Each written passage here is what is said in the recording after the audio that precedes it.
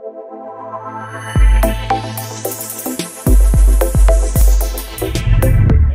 we're going to pull the flywheel on this is a 1999 Kawasaki Prairie 300. You need a M30 by 1.5 puller. Just like that. You can get these Amazon, eBay, Rocky Mountain. I'll put a link to one down in the description below. But you just screw that on.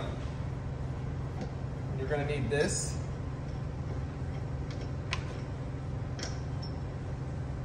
It's a 19. I just had it.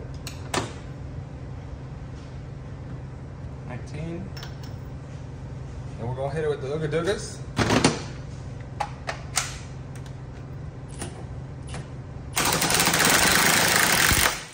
It's gonna pop. Pull your tool off. When you slide it out, this is gonna be your one-way bearing back there. Due to the way that the starter gear is on this, you've got your big gear and then the smaller starter limiter.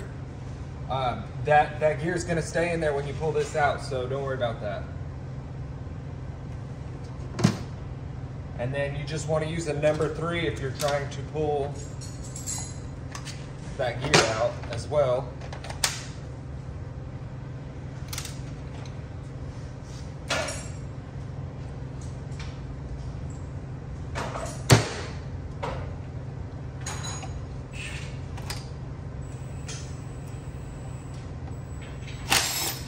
Three Phillips head screwdriver.